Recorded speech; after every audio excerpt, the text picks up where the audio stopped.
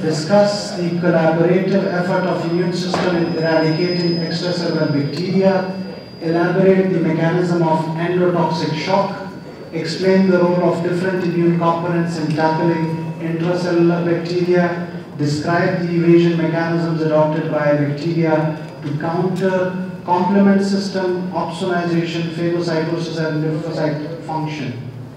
So if I just give you the overview, these are the components that will be discussed. So we'll start with the innate barriers, complement and the cells, intra and extracellular bacteria, how they are damaged by the immune system, why phagocytosis is a key mechanism, and what is endotoxic shock, antibodies and bacteria, what is their relationship, how the antibodies are going to deal with that, and what is the role of cytotoxic T lymphocytic bacterial infection, and finally the evasion mechanism. Do you all know what's the meaning of evasion? Yes. No, no. Evasion is actually bacteria and viruses are very clever. They can escape the immune response. They can hide it. They can trick the immune response. That is called as evasion. It's not invasion, it's evasion. E. Before we begin the session, there is a question that I would like to first begin with. It's a thought actually. How you see cooperation between innate and adaptive system. So there are three possible combinations that I have thought about. One is innate immune system starts and then the adaptive immune system takes over. That's one. Number two is innate immune system starts, then the innate and adaptive interface come, and finally the adaptive immune system you know, finishes the job. Or the third one, innate, innate and adaptive interface and adaptive immune system, they all are linked to each other. What do you think, which one is the most suitable mechanism that is happening all the time? C. Any example?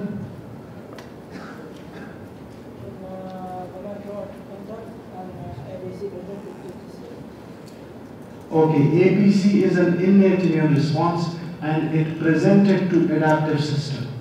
It fits here as well and it fits here as well. So innate cell takes the pathogen and present it to the adaptive cell. Any other example? antibody can uh, prevent macrophage. And uh, the anti-macrophage can uh, Excellent answer. The antibodies, they are basically produced by the adaptive immune system. These antibodies, they can also activate a complement pathway. Which pathway? Classical pathway. That's one example. They can activate natural killer, the antibody-dependent cell-mediated cytotoxicity. Example I'm going to tell you here is cytokines of the cell-mediated immunity. They are going to activate macrophages to express toll-like receptor and also they tell the when the macrophage present the antigen to T cell, the T cell orders the macrophage to kill the pathogen with the help of which cytokine? Interferon gamma. That is also the example of interaction with each other. So there is nothing like innate comes, finish the job by adaptive immunity or innate, adaptive and followed by adaptive. It, is, it goes in circle and it's a teamwork. Now, immune response is a collaborative effort. Now, first, we'll see what's the question. Write down the components of the innate immunity. You all know the components of the innate immunity. You can just write down those components. So we'll give you one minute to think and write them down. You can talk to each other, learn from each other. I asked about the components of the innate and adaptive system, barriers and dendritic cell, complement and natural killer, macrophages, B cells and antibodies, T lymphocytes. They are all the components of innate are these and these are adaptive. Now another important thing which I want you to understand is that how they are placed. So I just designed this you know simplified version So let's say this is the, these are all the barriers, physical, chemical, biological, all the barriers are, you know, placed. So skin, for example, mucus lining. Second is complement system and natural killer cell. You can see that if physically you see they are hidden. Now the next macrophages come, it hides the complement and natural killer cell. They together hide the barrier in the dendritic cell. Then if B cell comes, T cell comes, they are hiding each other, but actually they are all present, they are all supporting one another, and they will be functionally intact with each other. So it's always a teamwork, nothing is working alone. There are three examples that I want to give you. Let's say a bacteria has come, it will first be blocked by the barriers, okay? Let's say if it has crossed the blood and enter the blood, inside the blood there are complement proteins. Now, gram-negative bacteria, Neisseria gonorrhoeae and Neisseria meningitis, these two are very prone to damage by complement system directly, and especially the alternative pathway. What is the end product of complement activation? MAC formation. MAC can directly kill. So it's going to kill the gram-negative bacteria. then here I'll give you another two examples of the bacteria. Normally bacteria, they can produce toxins or they can invade the tissues. Okay? So either they are toxic or invasive. So two bacteria, diphtheria that causes pharyngitis and cholera that causes enteritis, infection of the intestine, they both produce toxins. Okay, so they are bacteria sets in one corner and release the toxins. Antibodies can directly neutralize these two. So I have given you four examples, two examples of directly complement mediated damage. What are these two? And just keep writing the bacteria so by the end of lecture you just know. So just see gram negative,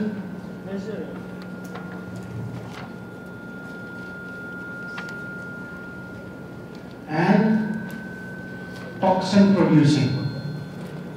What are the two? Diphtheria and cholera. So antibodies will neutralize these two and gram-negative will be damaged by the complement system. Now, going further, factors that determine the fate of a bacteria. Before we go into the details, let's see the question two. List the causes that result in disruption of innate barriers. What can damage the innate barriers?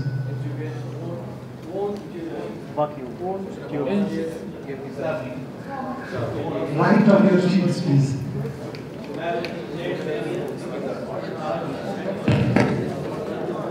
See the different factors that determine the fate of a bacteria. What is the route of entry? Is it the bacteria entering through skin, respiratory tract, GI tract, urinary or directly in the blood? One good example you have to give me, when the bacteria enters directly in the blood, where it is going to be taken? Which organ? Spleen. Excellent. And what about the other tissues when they are there?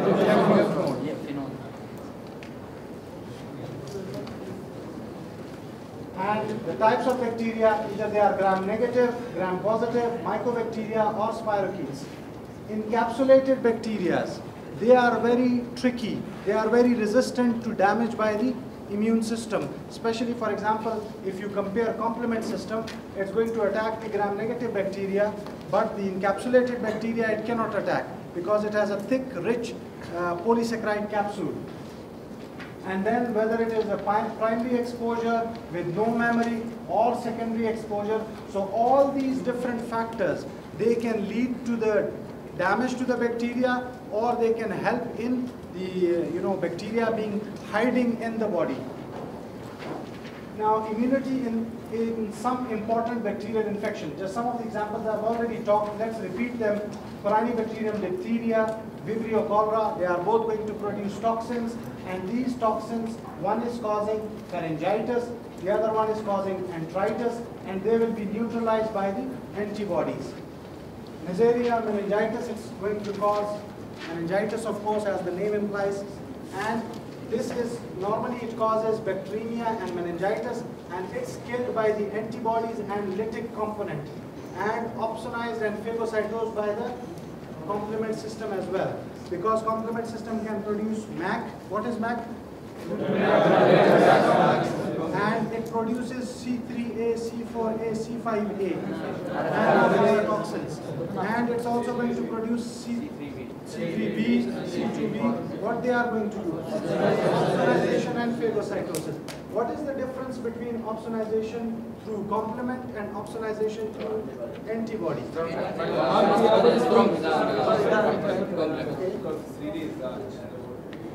So the complement mediated helps in just phagocytosis, while the antibody mediated leads to killing mechanism also. Very good. Now, Staphylococcus aureus, it's a gram-positive bacteria, and you can see here, as I said, bacteria can be invasive and toxic. This is both. It is invasive and toxic. It causes infection of the skin. That's why it will be taken up by the which cells are going to first take this bacteria in the tissues?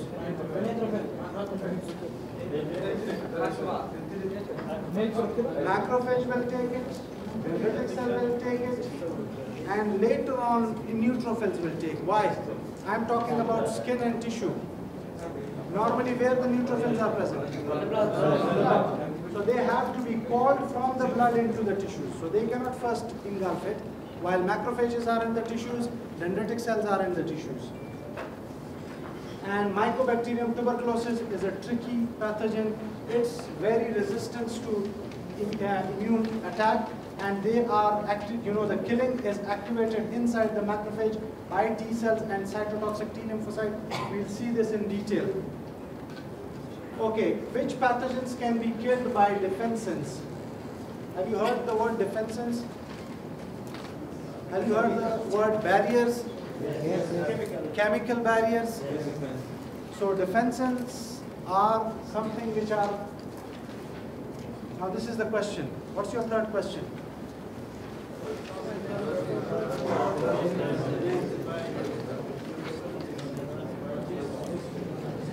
You know any example?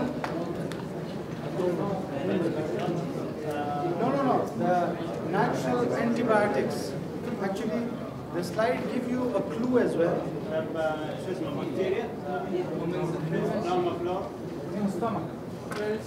Do you remember any defenses? In one of the slides, both the names were written. I think this question is two, we just quickly go over it. There are two defensins, alpha and beta defensin. They are present in the skin, they are present in the neutrophils. So different places these are present. So the answer to this question is yes and alpha and beta defensin.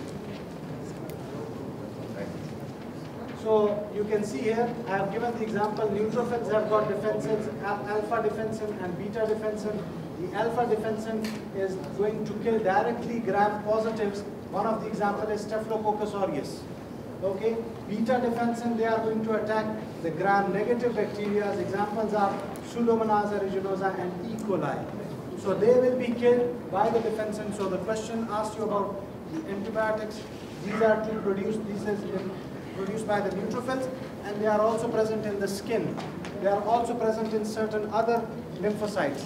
Another example is bacterial permeability inducing proteins, BPI, produced by the epithelial cells. Okay?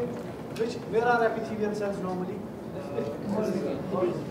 Skin, mucous membrane, GI tract, urogenital tract, most of the mucous linings, they have got epithelial cells.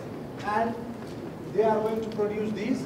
Now one question I asked that macrophage and dendritic cell, they will engulf the pathogen in the tissues who will call the neutrophils.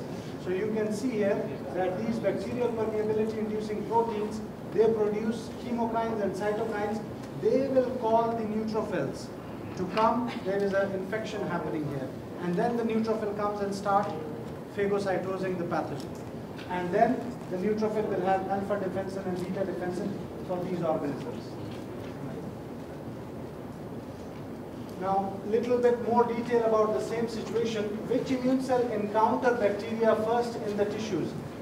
Dendritic cell and macrophages. Is it true? No. Yes. Are these cells well suited for initial clearance of bacteria? If not, which cells are more suited? From the back to neutrophils macrophages, they engulf the bacteria. Can they kill it as well?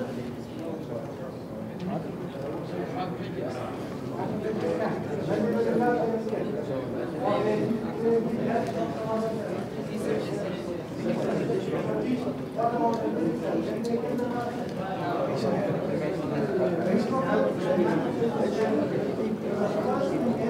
Neutrophils, they have to kill the how they will come to the site of infection? By complement system. Yeah, we'll come to that part, why they don't kill first. Okay, because uh, first thing is, no, because there's a question on that. First you will answer the question, then I'll tell you the details. So complement system, how many pathways are there? Which ones? Activated by antigen antibody, alternative pathway by bacteria, fungi, virus or tumor cells. Mannose binding lectin pathway by microbes or terminal mannose. Now, read the question. What's the question?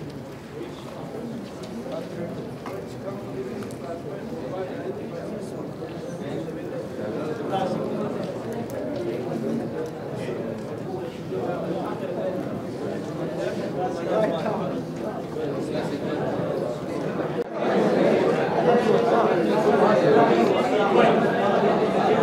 What is the answer? What is the answer to this question? Alternative path. Okay, they provide antibody independent innate immunity. Is it correct? And why you were saying alternative pathway?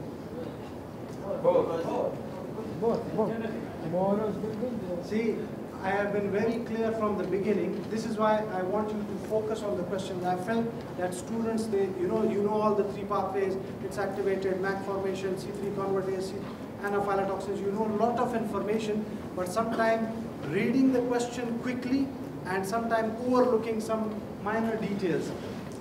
The question is, which complement pathway provide antibody independent innate immunity very clearly from the start i have been telling you that antibody antigen complex activate classical pathway only here it is exactly like the classical pathway but what activates it lectin through mannose it's not antibody you know, it's very clear. It's not antibody. It's lectin activated in the mannose. So these both pathways don't need antibody. Only this pathway need antibody. Correct? Okay. Now, the main things that will be produced by these two pathways are membrane, all three pathways are membrane attack complex, C3A, C5A, which are the anaphylatoxins, which helps in chemotaxis, phagocytosis, and clearance of the immune complexes. All of you are aware what is clearance of the immune complexes? Yes, they are big in size. These C3A, C4A, C5A, or C3B, they bind, break them down into small complexes. They are loaded onto the red blood cells, and then they are taken to the spleen, where the macrophages will strip off these immune complexes. This is the way how immune complexes are normally cleared of your blood. And the pathogens that can be directly killed by especially the alternative pathway are Neisseria gonorrhoeae, meningitis are effectively killed by the membrane attack complex. Now going to the acute bacterial infection, two scenarios. One is unencapsulated bacteria, the other one is encapsulated bacteria. The unencapsulated bacteria example is gram-positive staphylococci. So here is the bacteria. It can be, now if it has entered the blood directly, which immune cell it will encounter first? Neutrophils. And which innate immune proteins will it encounter first? Complement system. So the complement system is going to activate and produce anaphylatoxins. They will help the neutrophil engulf the bacteria and then neutrophil inside has got a lot of bacterial killing chemicals like myeloperoxidase, lysozymes, and you know nitric oxide, lot of granules, primary granules, secondary granules, they are part of the neutrophil. They are going to help the neutrophil kill the bacteria. On the other hand, when an unencapsulated bacteria is uh, produced, Strep- Streptococcus pneumoniae, that is going to activate naive T cell. Now, where it is happening? In the blood or tissues?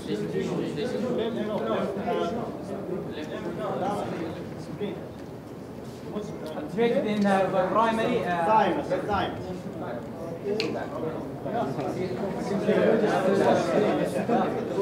time. In time. Different things here are Activation in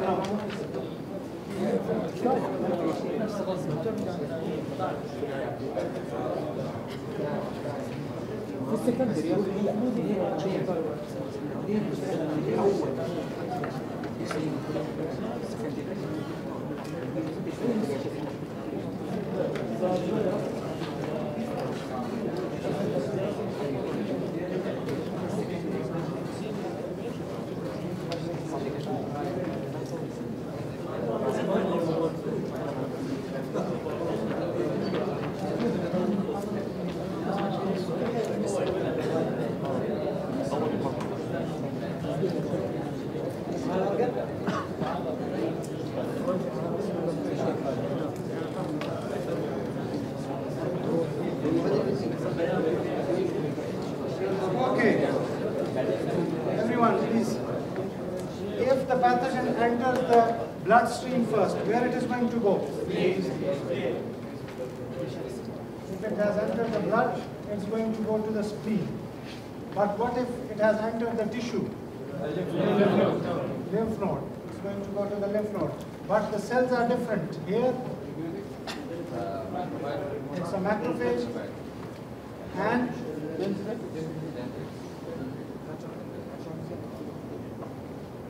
This is a dendritic cell. Now, if dendritic cell takes the bacteria, where it's going to take it?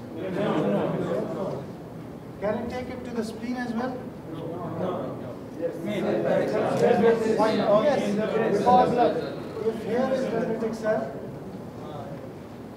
and the pathogen will be taken up by the dendritic cell, the dendritic cell will take it to the spleen. Who is going to take it to the spleen? Okay? So dendritic cell is going to take it to the spleen or take it to the lymph node. What the macrophage is going to do? It will do phagocytosis. But will it kill it or not? Well, that depends on bacteria. If it is a simple bacteria, maybe it will be able to kill it. But if it is a complex like mycobacterium, what it's going to do we'll discuss on another slide. Wait for the node. Now, in this slide, you saw that here is a naive T cell, which has never seen a bacteria. So, what is this process called when a dendritic cell? Priming. This priming is occurring inside the lymph node or for that matter, maybe inside the spleen. We don't know whether it was in the tissues or was it in the blood. Okay? Consider both situations. Now, ultimately, the T cell will be activated. Which T cell? TH1. And then TH1 will produce interferon gamma. And now we have to see the situation inside the macrophage. I've made a big figure that day that it has got two pathways. One is myeloperoxidase independent and one is dependent.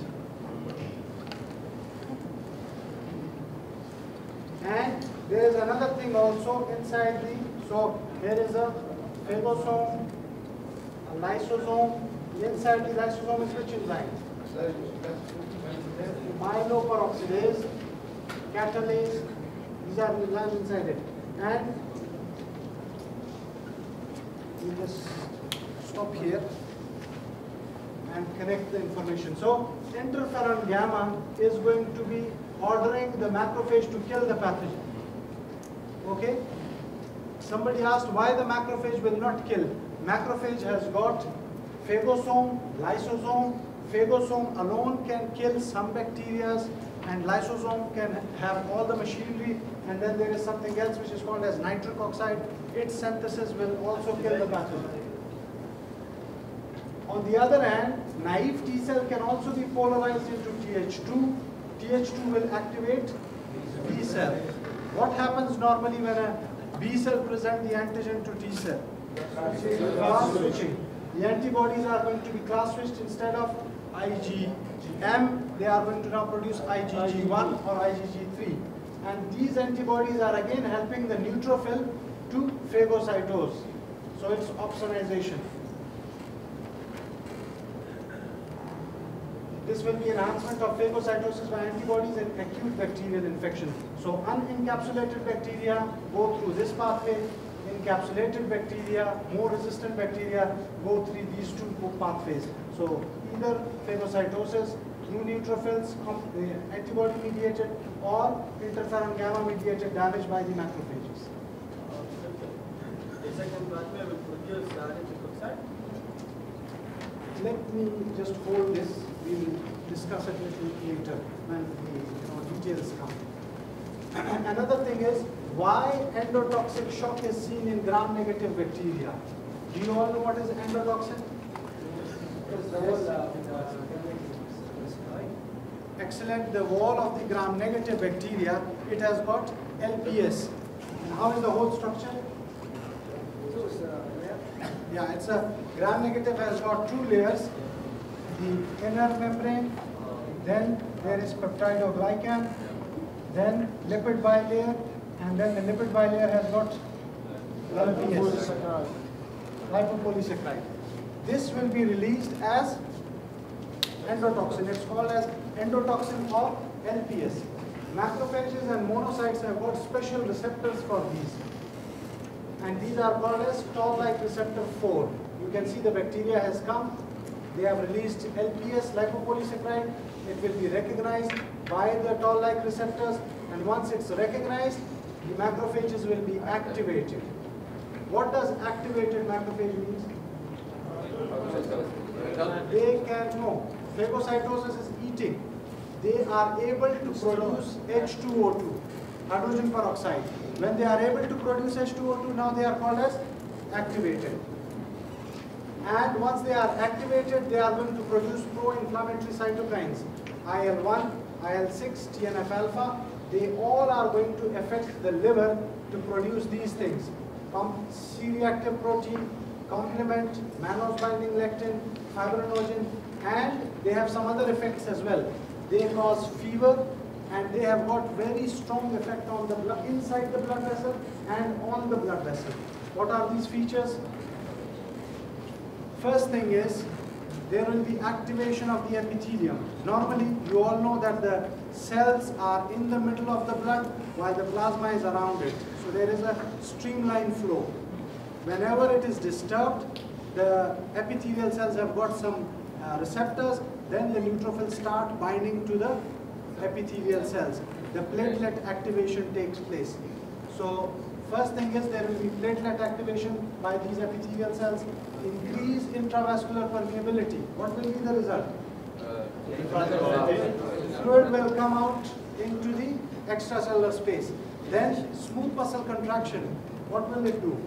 Like anaphylaxis, blood vessel dilation, and there will be hypovolemia. Okay, so there is hypovolemia, there is fall in blood pressure, there is loss of fluid in the tissue, and there is hemorrhagic necrosis. In the end, there is multiple organ failure. So the what are the vital organs? Heart. Brain, and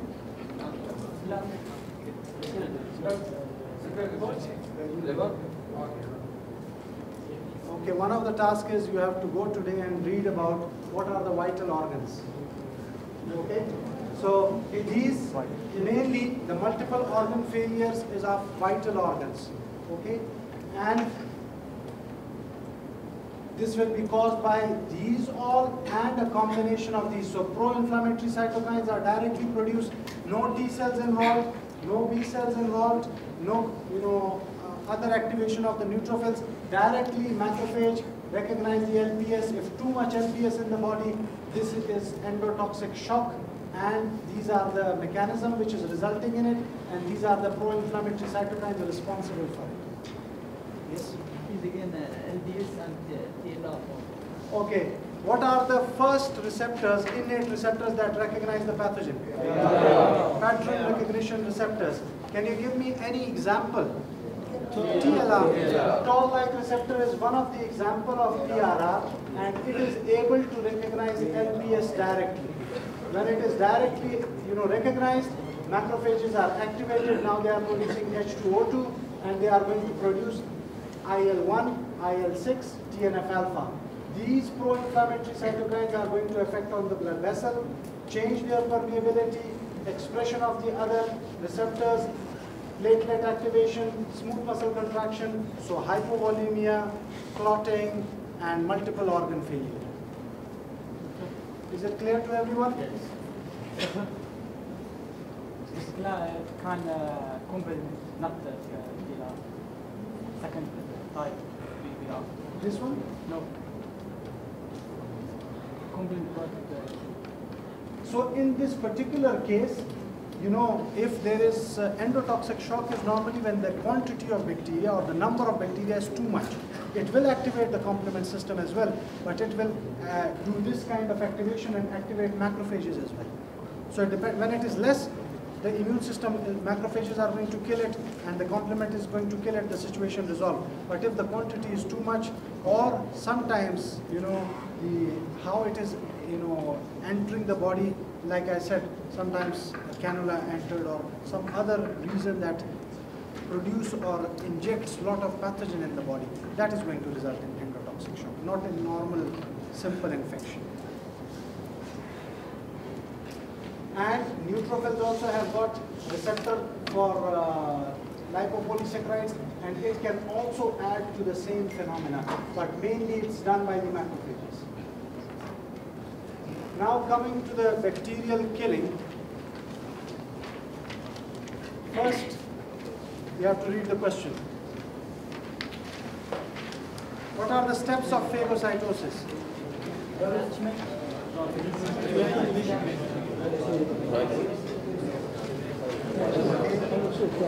Antigen recognition, that's very good, but to what?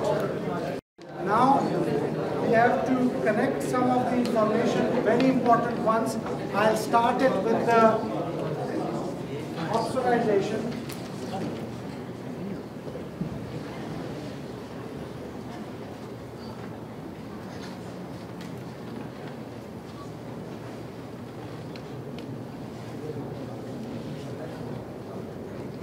So the first thing is, here comes bacteria, okay? It was bound by complement proteins. For example, okay? And it was also bound by the antibody. Now, antibody mediated or complement mediated phagocytosis will take place. What are the receptors? Very good. CR1, CR2, and FC receptors. FC for antibody, CR for these. Once it's engulfed, it will form phagosome. If it is just the complement, the killing mechanism is not started. But if it is together antibody and complement or antibody alone, the killing mechanism starts. How it starts? There is a special pump here, proton pump, that will make this phagosome acidic. pH will drop, it will become acidic. Then there are oxygen reactive species are going to produce. After this, there is another thing inside the macrophages that is called as lysosome. It has got an enzyme called myeloperoxidase. Myeloperoxidase will result in the formation of they will join each other. Phagosome will form, uh, bind to lysosome, phagolysosome, and the myeloperoxidase is going to cause the formation of H2O2, hydrogen peroxide. But this will happen when a special receptor is activated. Through interferon gamma. Who will produce interferon gamma? T cells. So here are the T cells. Okay, and then it will also trigger the formation of nitric oxide. I said nitric oxide will be formed. Okay, or reactive oxygen intermediates. But mainly it's the nitric oxide that is formed. So proton pump when become, you know, this uh, phagosome when become acidic, that is good killing. But when the myeloperoxidase convert hydrogen peroxide, that is more strong killer. Finally, when the nitric oxide is produced, that is very, very strong, you know, killer. So they are going to kill it, but the final message is coming through interferon gamma, through T cells. All that makes sense? Now we are going to link this to a clinical scenario. There is a tuberculosis patient, latent tuberculosis. Do you all know what is latent tuberculosis? Uh, So the TB is not active TB, it's just in the dormant phase, okay? And if that patient has got AIDS, if he get AIDS, then normally what is the uh, problem in AIDS patients? CD4 counts drop very low. So when there are no CD4, this T cell will not be there to produce interferon gamma to cause activation of myeloperoxidase or nitric oxide synthesis. Is that clear? Yes. So when this is not happening, the latent or the hidden macrophage, the mycobacterium, that can become active. So that's why latent tuberculosis patient, when they get AIDS, their TB become active as well. And the mechanism is this. Everyone understands this? Okay, so the AIDS patient has got low CD4 counts. If the CD4 counts are low, no T cells, not no T cells, but very less T cells, less interferon gamma, less activation of myeloperoxidase, less nitric oxide synthesis, and less killing of the mycobacterium. So when they, this all check and balance is gone, mycobacterium is already hiding. He will think, okay, nobody's going to kill me, and start creating trouble and become active. Okay, now we will see certain examples inside the macrophage of the bacteria that are going to cause trouble. So first thing is Streptococcus pneumoniae. Is it encapsulated or unencapsulated? Encapsulated. So the encapsulated bacteria, I said they are very tricky. They will first block the recognition by, so this is the recognition mechanism complement and antibody mediated. These encapsulated bacteria stops that. So they don't allow their recognition and they don't allow engulfing. That's number one. So number two, Mycobacterium tuberculosis. He is very clever. He can do three things. Number one, it will stop the proton pump. I told you there is a proton pump that makes the phagosome acidic. Number two, it can stop the binding of phagosome with the lysosome. Number three, the interferon gamma is going to come outside. It will stop the uh, you know response of this whole macrophage to this interferon gamma. Now what's the last question? What are the components of myeloperoxidase?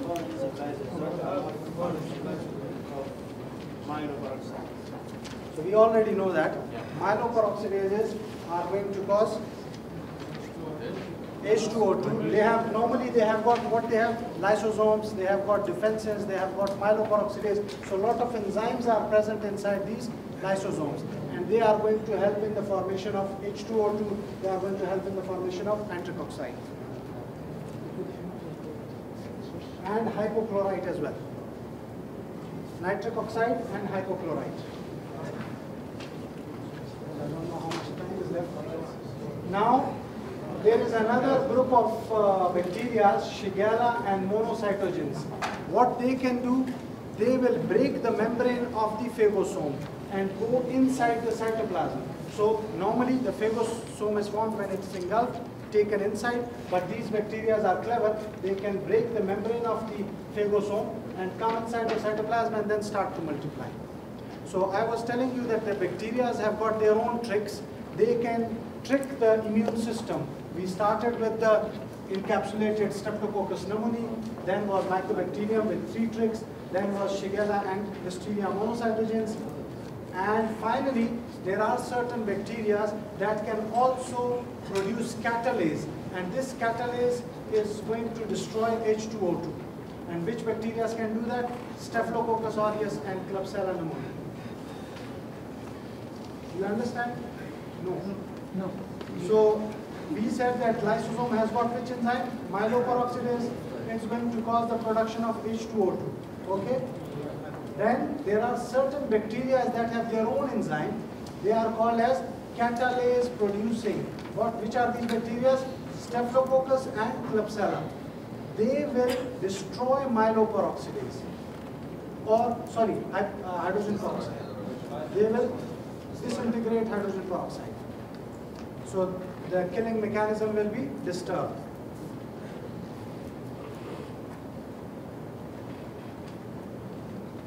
Okay, now we are going to see the functions of antibodies with relation to the bacteria.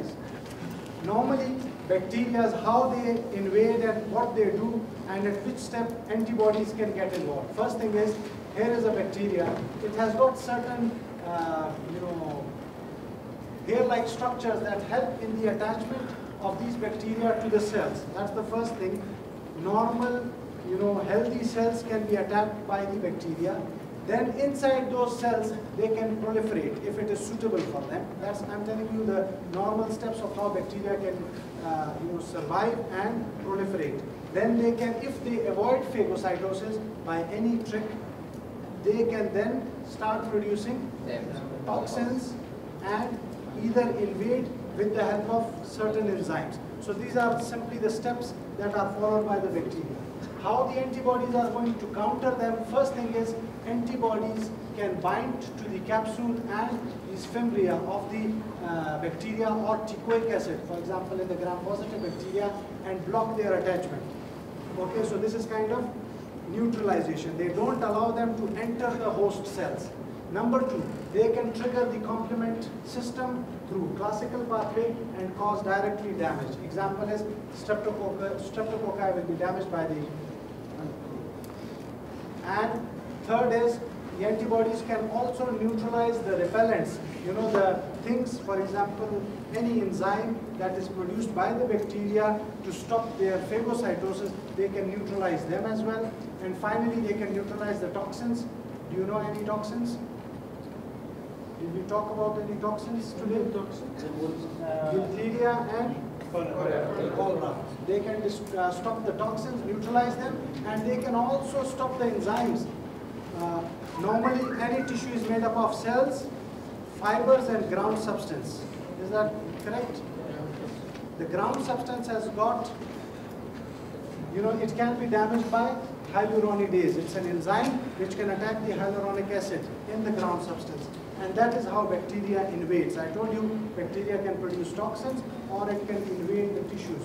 So these antibodies can block this enzyme and it can also block the toxins produced by the bacteria. Now overview of CD4 mediated cell response. What happens in that? You already know dendritic cell will uh, present the antigen to naive T cell and it can go through three different possible polarization. Either a Th1 mediated which will produce interferon gamma, macrophage is activated as I showed here and they will kill the bacteria inside them. Number two, Th2 mediated interferon gamma will cause what? Class switching. And these antibodies will help in phagocytosis, neutralization, or uh, opsonization. Then the third pathway, it's slightly different. It is mediated by which? Okay, when dendritic cell produce IL-12, Th1 are produced. But what dendritic cell release to produce Th2? IL-4. And what does it produce to make Th17? TGF beta, IL-6 and TGF beta, when they are produced, they will become TH17. And then TH17 produce IL-17, IL-22, which can activate neutrophils. So the neutrophils are going to then deal with the uh, extracellular bacteria. And where will it do it? It will do it at the mucosal surfaces, intestine in particular.